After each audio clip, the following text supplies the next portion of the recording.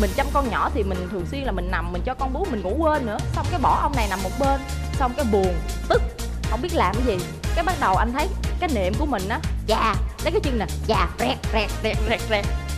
Giống như là để cho mình biết là đang bức xúc đang bực bội đó. Và bây giờ mời quý vị chúng ta cùng tiếp tục cho một tràng pháo tay để chào đón cặp vợ chồng thứ hai.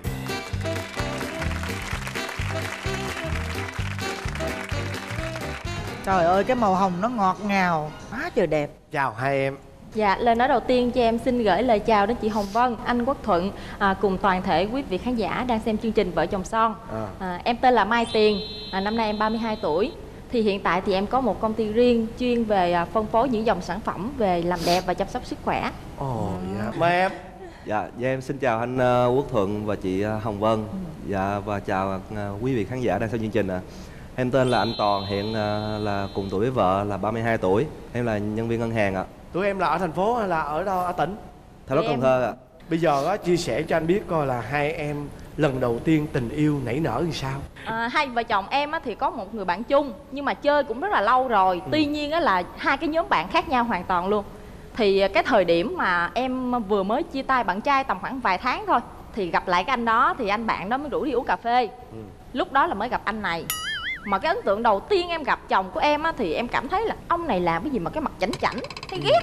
Xong rồi cái cái thái độ nghênh ngang lắm kìa em nhìn em thấy khó chịu lắm. Thì mình cũng xã giao mà mình chào rồi thôi mình nói chuyện với lại mấy anh em kia. Ờ. xong rồi mấy anh em rủ nhau đi ăn. Thì lúc đó là cái ấn tượng là cái ấn tượng lúc này là ấn tượng xấu về nhau rồi.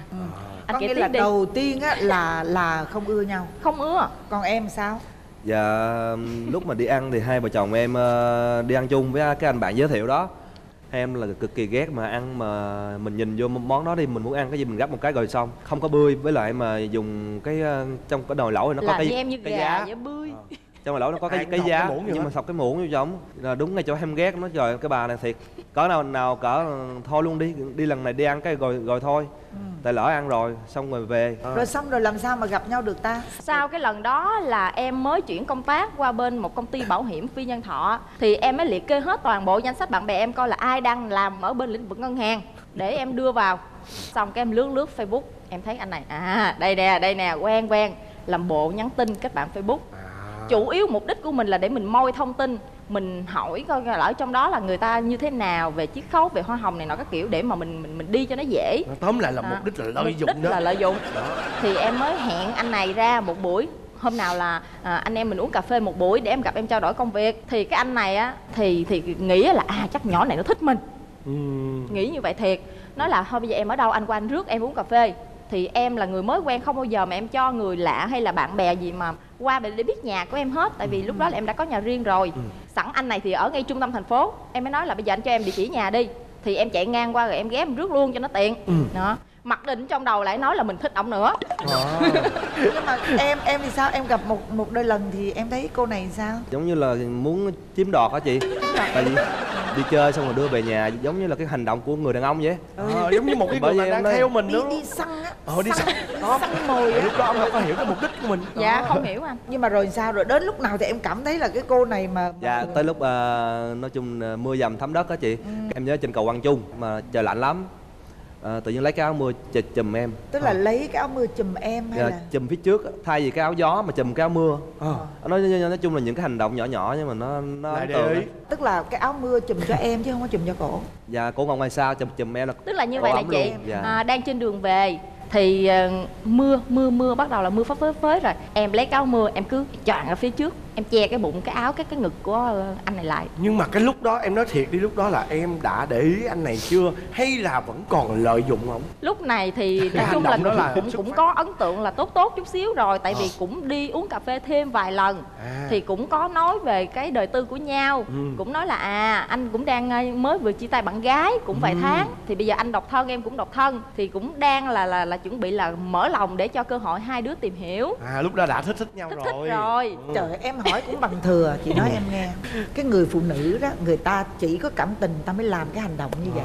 Tại vì nè Không á, là dừng xe lại Trùm áo mưa rồi rồi Mạnh anh anh ấy. Còn này là em phải nhớ khi em vòng vậy là tay em bắt buộc phải ôm rồi ừ, em hiểu đó, không? đúng không em choàng vậy là tay em phải ôm để dịnh. Là đúng nó rồi. rớt áo mưa làm sao? Đó. dịnh rồi thì chuyện gì xảy ra? Dịnh thì phải ngồi. Rồi, đụng nhau va chạm va chạm. Rồi chưa tính cái chuyện đi xe thắng đồ dằn tới dằn lui. Ờ, mà lên cầu nữa. Em phát hiện ra điều gì? Nói chị nghe. Thấy ok quá hả ok không? Tại sao ok vậy? Tại sao ok vậy? Dạ, thấy nó cân cân chị. Thấy. Nhưng mà cấn cấn nó là cái gì? Dạ, dân đàn ông cái hay nói là cái gì là điện nước đầy đủ đúng không? Dạ đúng. Rồi bây giờ nè Dạ. kể từ ngày choàng tay đó qua ờ đó. đưa cái áo mưa nè cái là, áo mặc là chính thức là lúc nào tụi em yêu nhau? Đúng bao lâu? Cách đó cũng khoảng ờ, thêm cũng khoảng nửa tháng tháng nữa anh chị. Tại vì Dạ. cũng ngay ờ, ngay dịp 1 tháng 6 sao lựa để cho cái ngày quốc tế thiếu nhi vậy? Dạ em thấy nó cũng dễ thương tại vì quen nhau lần thời điểm đó là em thật sự là cũng ờ, hai vợ chồng rất là khờ đêm động phòng còn ấn tượng hơn nữa chị. Ờ, sao? cái đêm động phòng á tại vì theo cái phong tục tập quán của người xưa là phải ở bên nhà chồng 3 ngày mới được về nhà mình ở. Ừ. đó thì cái đêm đó là à, sau khi mà đãi tiệc xong thì hai vợ chồng em là vòng vàng khẩu trang thì lúc đó chưa có xe hơi đâu đi xe máy thôi là em gom vào em gom vào trong một cái túi em quăng ở trong cái cốp xe đi chơi đi búp chơi. Đi xong hai vợ chồng say xỉn quá cuối cùng tới thời điểm tầm khoảng 2 giờ sáng mới về. Ông này xỉn quá mở cửa ra mở cửa ra dẫn xe vô cái út xong em lững thững lững thững đi sau quay xoay qua xe lại. Thấy khóa cửa mất tiêu đi lên ngủ luôn. Bỏ em ngoài. Bỏ em ở ngoài. Ờ đó. Xong rồi em nằm em nằm dài ở cái cái băng đá mà ở đối diện nhà. Không lúc đó thì em chưa xỉn nhưng mà Ừ. có cái là em không có liên lạc được ai hết. Điện thoại hết pin. Xong em nằm dài như vậy em đợi. Em đợi em nói trời ơi trời cái ông này cái đêm tân hôn mà mình nằm ở ngoài mình nằm xẻ lai mà mình ôm cái túi vàng. Mình ôm cái túi vàng cưới. Ơi. mà mình nằm dài ở trên đó mình đợi không biết chừng nào ông mới tỉnh ông mới ra ông rước mình vô. Ừ. xong rồi ông này ngủ tầm khoảng tiếng đồng hồ. Chắc là mò tới mò lui không thấy vợ đâu. Ờ. mới điện thoại em nói anh bóc điện thoại điện cho mười mấy hai chục người bạn. Anh ơi vợ em đâu rồi? Chị ơi vợ em đâu rồi? Vợ ừ. lúc đó là em lúc sao đó bị quản á? đó anh Ừ. quéo rồi. Hơi bị quản mình nói trời ơi chết bà rồi vợ tôi có trong vợ ờ, mất Diệu. mất nữa. Nên em sợ em vợ em có có chuyện đang ôm vàng nữa nên em sợ lắm rồi em ờ, đi ra ờ, nói chung. Rồi em đúng không?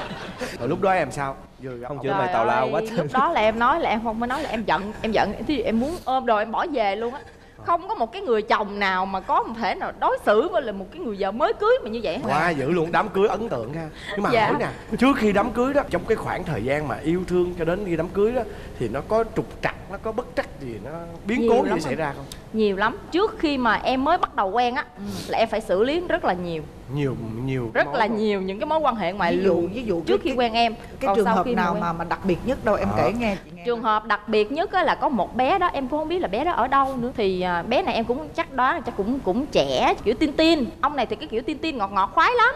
Ờ. nhắn tin biết là ông xã em quen em rồi thì bắt đầu nhắn tin điện thoại chửi bới. Rồi á những cái người yêu cũ cũng vậy luôn ủa là nhắn cho em, em phớt hả? lờ luôn á. Là nhắn phớt cho lờ, em á nhắn cho em luôn á. Với lại á, là cũng có một số người á nhiều khi là thích cái anh này. Ừ. đó cho nên là họ hay làm họ chơi những cái trò như vậy thôi. Thì mình thấy có con con nít quá. Khi quan trọng là cái ờ, thời điểm vợ mà chồng em ờ, bắt đầu quen nhau là có rất là nhiều người mà giống như nhiều tin tin nhắn lắm anh. Rất là nhiều luôn mà em không biết là là luôn. chồng em đào hoa lắm. biết là ai. tới lúc mà hai vợ chồng em quen là hoàn toàn là giống như là hai người đã có kinh nghiệm hết rồi. Nên là không có rất là suôn suôn sẻ. Rồi tính Rồi cách của giờ- hai vợ chồng em cũng không hợp luôn. Quen nhau tầm khoảng là 4 năm tháng thôi là hình như là hai đứa em muốn chia tay là chắc có 10 lần có. Ồ, quen ít mà quen tức là cái ngắn. tính của cái anh này cái tính của anh này là anh này là thích kiểm soát người khác. Ví dụ như bạn gái là ăn uống như thế nào nhắn tin như thế nào rồi đi đâu làm gì cũng phải báo cáo cũng phải giải thích. Ừ. nó thì em thì cái tính cái cái tiếp người của em thì em không thích vậy. Đó cho nên là mình cảm thấy nó bị khó chịu chưa gì hết mình mới là người yêu thôi mà kiểm soát mình tới cái mức độ đó. Rồi ghen tuông rồi ôi đủ thứ hết. Thôi chút nữa đến cái phần tật xấu mình khui đó. Nghe đâu bây giờ được luôn rồi nè. Rồi. vô luôn nè. Vô bây giờ nếu vậy thì sau khi lấy nhau rồi là còn cái tật đó không? Em kể luôn cái tật xấu luôn đi. sau khi lấy nhau rồi á lúc mà sinh con xong á, thì mới bắt đầu phát hiện tật nhiều. Thứ nhất là ổng hay cà khịa với con lắm. Ổng hay cái kiểu giống như là hai vợ chồng mới cưới mà thường ngủ là phải ôm ấp nhau. Thì khi mà tự nhiên đùng một cái có một cái thành viên khác xuất hiện nó chen ngang. Nó nằm ở chen- giữa không nó à? nằm ở Ờ. giữa. Mình chăm con nhỏ thì mình thường xuyên là mình nằm mình cho con bú mình ngủ quên nữa. Xong cái bỏ ông này nằm một bên xong cái buồn tức không biết làm gì. Cái bắt đầu anh thấy cái niệm của mình á chà lấy cái chân nè chà rẹt rẹt rẹt rẹt rẹt. Giống như là để cho mình biết là đang bức xúc đang bực Ờ. bội đó. Mà mà mà tại sao con ngủ rồi mà lại không qua ôm ổng Ờ. ghen với thằng nhỏ. Ghen tới tới thời điểm bây giờ vẫn ghen như vậy. Con mấy tuổi rồi cô con em cũng được ờ, gần 4 tuổi rồi chị. Trời ơi con trai gái. Dạ bé trai. Thôi ông càng ghét nữa. Ở nhà thì à, vợ chồng em có cái à, nickname của toàn gia đình là toàn tiền đô. Toàn thằng nhỏ tên là tiền đô đúng không? Nhỏ tên là Toàn đô em tiền, tiền nhỏ em là là tiền. Nhà toàn tiền toàn đô. tiền đô. Đó. Thêm đứa nhỏ toàn tên tiền đô. Còn tiền đô la. Dạ em đang kiếm la la đó đúng không? Thêm cái tật xấu gì nữa không? Cái tật xấu của chồng em nữa là rất là thích nhậu. Ảnh thường xuyên á là ví dụ như những cái công việc nhà hoặc là hư cái này cái kia mà em phải ờ, nhắc nhở nhiều lần ảnh mới làm. Nhưng mà bạn yêu cầu bạn gọi nhậu là ở đâu cũng ba chân bốn cẳng chạy. Anh ham vui lắm. Như vậy thì trong tất cả những cái tật xấu đó của chồng là em mong mỏi chồng em thay đổi điều gì nhất? Em mong mỏi cái vấn đề chồng em thay đổi nhất á, là khi mà rảnh thì hỗ trợ em cái vấn đề công việc là cái thứ nhất ờ, cho thật sự là nó chuyên tâm. Rồi cái thứ hai nữa là em muốn là chồng cũng hạn chế bia rượu nhậu nhẹt chơi bời cái thứ ba nữa là em muốn chồng em thay đổi là thay vì cái thời gian mà chơi với bạn bè nhiều thì em muốn là chồng em học thêm những cái kỹ năng để mà dạy ờ, trẻ. Tại vì thường là cái độ tuổi mà trẻ lên ba trở lên đó là bắt đầu là nó biết cách là nó Nó tìm hiểu, nó tìm khám hiểu phá. nó khám phá rồi. rồi và nó thường hay cãi lại lắm nó hay bướng lắm. Thì cái đó thì vợ chồng phải đồng lòng và phải tìm ra những cái cách phù hợp phải xử lý. Rồi giờ tới rồi em, tới em đó. đó. Vừa nói tật xấu mà vừa nói luôn mong muốn thay đổi luôn đi. Vợ em thì ờ, cái tật xấu của vợ em không thích là em là chỉ là là ăn tiếng nói thôi. Nếu mà một vấn đề mà dù cho vợ đúng nhưng mà vợ nói cọc cằn là chồng cũng không nghe nữa. Nên là một có một vấn đề là vợ cần hoàn thiện chỉ là lại ăn tiếng nói thôi. Rồi còn tật xấu gì nữa không em? Trước khi mà có có có vợ á, là em đã quen với những cái người bạn gái trước á, là chăm sóc cho em rất là tận tình á thì chu rất đáo. chu đáo. Nhưng mà còn vợ em á nhiều khi em đi chơi tới sáng cũng không gọi. Cái đó thì em rất là bất ngờ. Nói là sao mà những người con gái khác đều có mà mà, mà vợ tôi không có vợ em có một cái là không có ghen nhưng mà những cái hành động không ghen nó làm cho người khác sợ. Tại vì ờ, những cái người bạn bạn gái trước của em rất là ghen em ghen cực kỳ luôn. Em đi đâu cũng ờ, là ghen lắm. Nhưng mà vợ em là em đi tới múc chỉ cũng không ghen gì hết cũng không gọi gì hết. Nhưng mà những cái gì là làm cho em đặt dấu chấm hỏi.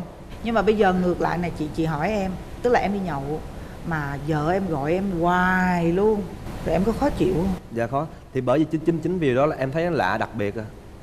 Dạ nhưng chính mà vì em em thích việc đó hay là em không muốn việc đó? Ờ, nói chung là em thật sự là người đàn ông không ai thích cái chuyện mà giống như là đi mà gọi gọi Bị hoài gọi. hoài hết á. Hoài nhưng mà không gọi thì lại thiếu thiếu. Thực ra chị thấy chị thấy như vậy này em. Tụi em lấy nhau được bao nhiêu năm rồi? Dạ. 5 năm 5 năm tức là thằng bé 4 tuổi đúng Dạ. không? 5 năm trời thì cái thời gian nó cũng không phải là dài mà nó cũng không phải là ngắn. À, nhưng mà cái cách mà của vợ chồng em á, tức là của vợ em xử sự á, nó giống như là của một cái người phụ nữ mà đã sống với người chồng đó khoảng là chục năm hơn dạ thực ra mà nói đến một lúc nào đó vợ chồng phải đạt được cái ngưỡng là thực sự tin tưởng nhau ừ. tôn trọng nhau về mọi phương diện thì mới sống được vấn đề thứ hai nữa là trong đầu em nếu em còn cái suy nghĩ là ờ tại sao so sánh giữa vợ em với những người bạn Ừ. gái trước của em là em phải bỏ ngay cái, Đúng cái rồi. suy nghĩ đó đi không bao giờ so sánh vợ là chỉ có một thôi. Còn người yêu có thể là năm bảy cô cùng một lúc nhưng vợ là chỉ có một thôi. Dạ. Em chỉ có thể so sánh người yêu này với người yêu kia thôi chứ không được quyền lấy những người yêu đó so sánh với vợ của mình. Cái đó là cái kinh nghiệm.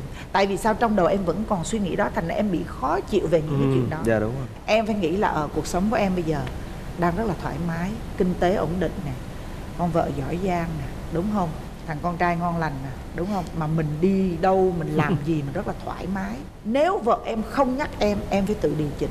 Ừ. chứ đừng có để là ờ tại bà không kêu mình đi luôn không có. Mình bây giờ là người chồng người cha người trụ cột của Dạ. gia đình rồi. Mình phải biết cái giới hạn giờ giấc để làm chi? Hồi nãy vợ em có nói đó dành cái thời gian với bạn bè dành lại một chút để mà lo cho vợ lo cho con. Đặc biệt là lo cho thằng con. Thằng con trai nó cần cha dữ lắm à Ừ. anh nói chung là chúc mừng hai vợ chồng em đó. Dạ, hai chồng thành đạt nè. Rất thành đạt Bây giờ nè. chúc mừng toàn nè cái tiền đô. đây nè chúc đây nè. cho năm sau có con bé la la nó xuất hiện. Không ngoài đó. La la là phải ngưng rượu nha. Dạ đúng rồi. Bớt rượu lại Bây giờ về nhà hay ăn nhất. cơm với vợ. Năm sau la la xuất hiện. Đó. Cảm ơn anh chị. À, xin cảm ơn hai em